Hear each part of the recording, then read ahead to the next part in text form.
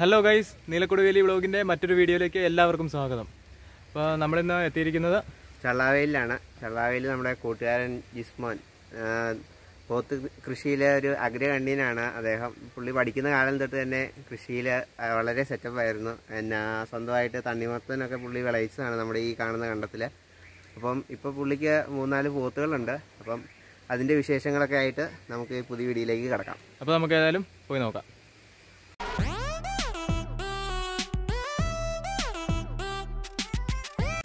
അപ്പോൾ ഇന്നത്തെ കാലഘട്ടത്തിൽ പോത്ത് വളർത്തലിലേക്ക് ഒരു ചെറുപ്പക്കാരൻ കടന്നു വരിക എന്ന് പറഞ്ഞു കഴിഞ്ഞാൽ അപൂർവകരമായ ഒരു കാഴ്ചയാണ്. അപ്പം നമ്മൾ ഇന്ന് ഏതായാലും നമ്മുടെ ജിസ്മോന്റെ പോത്ത് വളർത്തലിനെ കുറിച്ച് കാര്യങ്ങളെല്ലാം ചോദിച്ചറിയാം.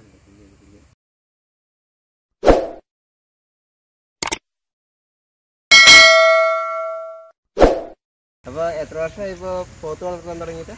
ഒരു നാലഞ്ച് വർഷമായി തുടങ്ങിയിട്ട്. അപ്പോൾ പോത്ത് വളർത്തൽ എങ്ങനെ ലാഭകരമാണോ? ലാഭകരമാണെന്ന് ചോദിച്ചിട്ടുണ്ടെങ്കിൽ ലാഭകരമാണ് പക്ഷെ അത് കോസ്റ്റ് അനുസരിച്ച് നമ്മൾ ചെയ്യേണ്ടതാണ് തീറ്റയുടെ ക്രമങ്ങൾ നോക്കണം. പിന്നെ നല്ല ഇനം നോക്കിയെടുക്കണം. അതൊക്കെ ശ്രദ്ധിക്കേണ്ടതുണ്ട്.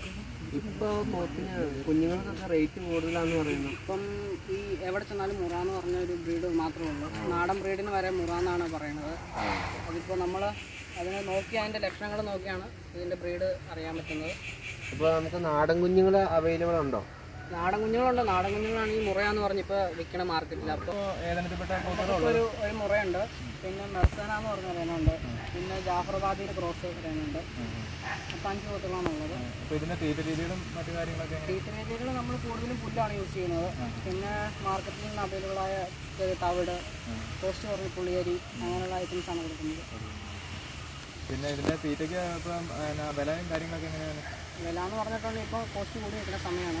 ഇപ്പോൾ നല്ല ലോക്ക്ഡൗൺ ടൈമുകളായതുകൊണ്ട് തീറ്റകളൊക്കെ നല്ല റേറ്റ് ആണ്. അപ്പോൾ ഈ ചെറുപ്രായത്തിൽ തന്നെ ഈ പോത്തുവളത്തിലേക്ക് വരാനുള്ളൊരു കാരണം? ഫാമിലി പണ്ട് തൊട്ട് മൃഗങ്ങളെ പരിപാലിച്ച് വരുന്നതാണ്. അപ്പം അതിന്റെ ഒരു നമുക്കും ഒരു താല്പര്യം വന്നു. അതിന്റെ പേരിലാണ് നമ്മളിപ്പോൾ ചെയ്യുന്നത്. ഇനിയിപ്പോൾ ഒരു പുതിയൊരു ആളൊരു പോത്തുവളത്തിലേക്ക് കടന്നു വന്നു കഴിഞ്ഞിട്ടുണ്ടെങ്കിൽ ആ ആൾക്ക് കൊടുക്കാനുള്ള മാർഗനിർദ്ദേശങ്ങൾ എന്തൊക്കെയാണ് അങ്ങനെ പറയുകയാണെങ്കിൽ നമ്മളിപ്പോൾ പറയാം പെട്ടെന്ന് ചാടി കയറി ഇറങ്ങിയിട്ട് കാര്യമില്ല ഇതിലോട്ട്. നമ്മൾ കൂടുതൽ പഠിച്ച് ആ ബ്രീഡുകൾ തിരഞ്ഞെടുക്കാനുള്ള പഠിക്കണം. പിന്നെ എന്തും ചെയ്യാൻ വേണ്ടി. എന്തും ചെയ്യാം. പിന്നെ പണിക്കാരെ വെച്ച് നടത്തിയിട്ട് നമുക്ക് ലാഭകരമാക്കാൻ പറ്റില്ല. ഈ പോത്തുകളൊക്കെ എവിടുന്ന് എടുത്തത് നമ്മൾ നമ്മുടെ അങ്കിളിന്റെ അടുത്ത് ഫാമിൽ വന്നതാണ്. ഹരിയാനയിൽ നിന്ന് വന്നു. അപ്പം പോത്ത് വളർത്തലിന് അല്ലാണ്ട് വേറെ എന്തെങ്കിലും പരിപാടികൾ നമുക്ക് വീട്ടിൽ കോഴികളുണ്ട്. അത് പഴയ ടൈപ്പ് അറുപതാം തരം തൊണ്ണൂറാം തരം എന്ന് പറഞ്ഞ കോഴികളാണ്.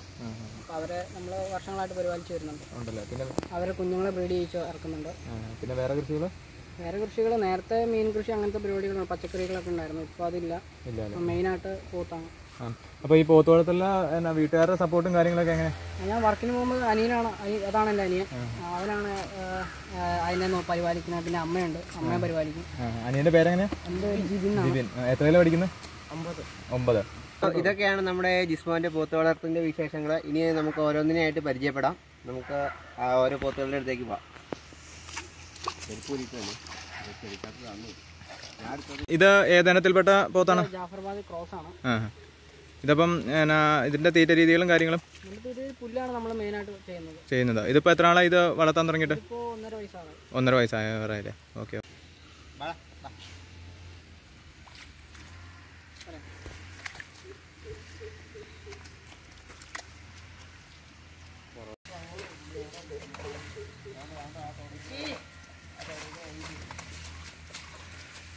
ഇത് ഏന ഏത് ഇനത്തിൽപ്പെട്ട പോത്താണ്? ഇതാണ് മുറ എന്ന് പറഞ്ഞ ഇനം ആ ഹാ നമ്മൾ പെട്ടെന്ന് നമുക്ക് തിരിച്ചറിയാൻ പറ്റുന്ന കൊമ്പാണ്. റിങ് പോലെ ഇങ്ങനെ വളഞ്ഞു വരും. പിന്നെ നല്ല പ്യൂർ ബ്ലാക്ക് ആയിരിക്കും. ആ, വേറെ പ്രത്യേകതകൾ വേറെ പ്രത്യേകത എന്ന് പറഞ്ഞാൽ പെട്ടെന്ന് വളർച്ചയാണ്. വളർച്ചയാവും. നാടൻ പോത്തിനേക്കാളും വളർച്ച കൂടുതലാണ് വളർച്ച കൂടുതലുണ്ടല്ലേ? ഇത് മേടിച്ചിട്ട് ഇപ്പോൾ എത്ര നാളായി? ഇത് മേടിച്ചിട്ട് ഒരു വർഷം കഴിയാറായി. ആണല്ലേ? ഇതെല്ലാം നമ്മൾ ഒരാളുടെ കയ്യിൽ നിന്ന് തന്നെയാണോ മേടിച്ചത് ഒരാളുടെ ആ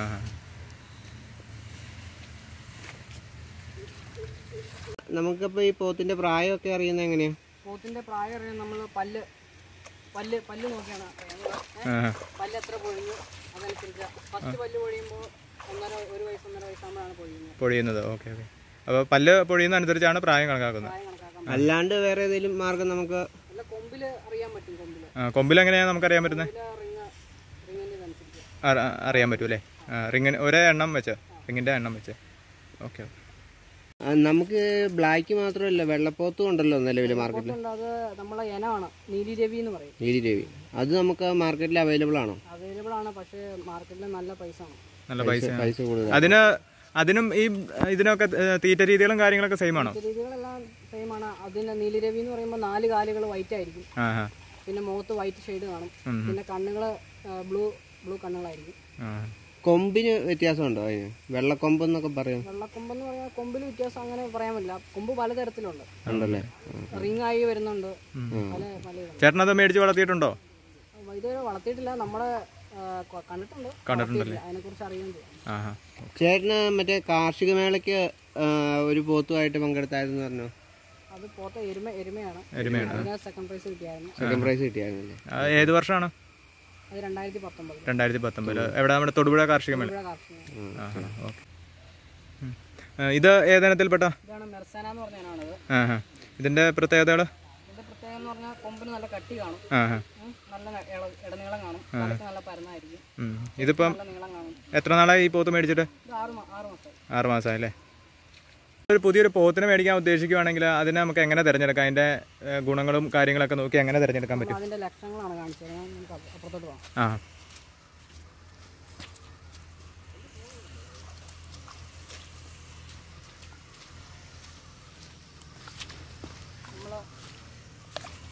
നമ്മൾ പോത്തിന്റെ ഇടനീളം.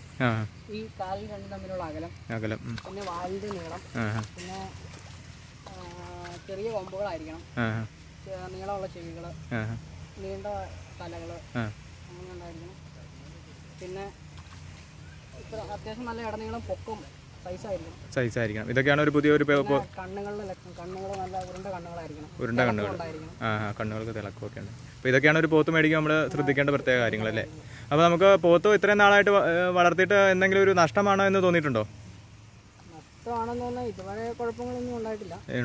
നമ്മൾ വളർത്തുന്ന പോലെ ഇരിക്കും. അതിന്റെ ചിലവുകളും കാര്യങ്ങളും. ആ ഇതിന് സബ്സിഡിയോ അതുപോലെ എന്തെങ്കിലും ലോണുകളോ എന്തെങ്കിലും ലഭിക്കുന്നുണ്ടോ? ആ ലോണുകൾ കുടുംബശ്രീ വഴി പോത്തുകളിൽ ഇതുണ്ട്. പിന്നെ നമ്മുടെ ഇൻഷുറൻസ് ഇൻഷുർ ചെയ്യുന്നുണ്ട്. ആ നമ്മുടെ പോത്തുകൾക്ക് ഇൻഷുറൻസ് ചെയ്തിട്ടുണ്ടോ? നമ്മൾ ഇതുവരെ ചെയ്തിട്ടില്ല. ചെയ്തിട്ടില്ല പോത്ത് വളർത്തലിനൊപ്പം തന്നെ എന്നാ ഒരു പശുവിനെയും കൂടെ എന്നാ നമ്മുടെ ജിസ്മ വളർത്തുന്നുണ്ട്. അപ്പോൾ പശുവിന്റെ പശുവിന്റെ വിശേഷങ്ങൾ എന്നാന്ന് നമുക്ക് നോക്കാം. ഇത് ഏത് ഇനത്തിൽപ്പെട്ട പശുവാണ്? കുട്ടിയാണല്ലേ ഇതിപ്പോ. എത്ര നാളായി? ആ അല്ലേ? ഇതിന് ഇതിനുള്ള തീറ്റകളും ബാക്കി കാര്യങ്ങളൊക്കെ? പുല്ല്. തന്നെ. ആ. ഇതിന് ഇൻഷുറൻസ് ചെയ്തിട്ടുണ്ടല്ലേ? അപ്പൊ ഇൻഷുറൻസും കാര്യങ്ങളൊക്കെ എത്ര നാളത്തേക്കാണ് അത് അതിന്റെ തീറ്റക്രമം പ്രായത്തിന്റെ അനുസരിച്ചാണ് ആണല്ലേ? തീറ്റക്രമങ്ങൾ അപ്പോൾ നമ്മൾ പുല്ല് ഏ, പശുവിനുള്ള തീറ്റകളും കാര്യങ്ങളൊക്കെ ഇവിടെ പറമ്പുകളുണ്ട് തീറ്റാൻ പറമ്പുകളുണ്ട്. ഈ ഭാഗത്തൊക്കെ ആയിട്ടാണല്ലോ പശുവിനെ തീറ്റുന്നത്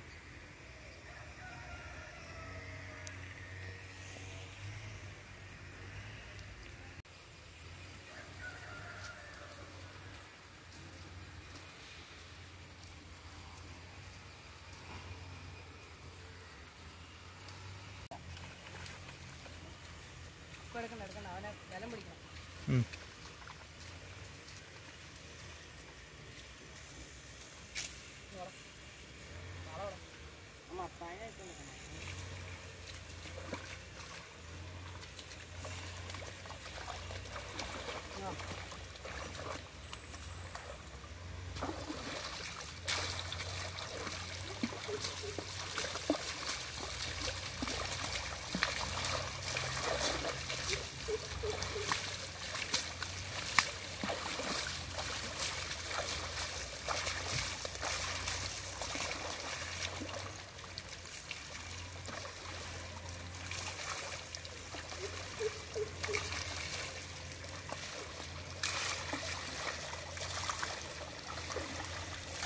അപ്പോൾ ചേട്ടാ ഒരുപാട് നന്ദി. ഇന്നത്തെ നല്ലൊരു അറിവ് നമുക്ക് പകർന്നു തന്നതിന്.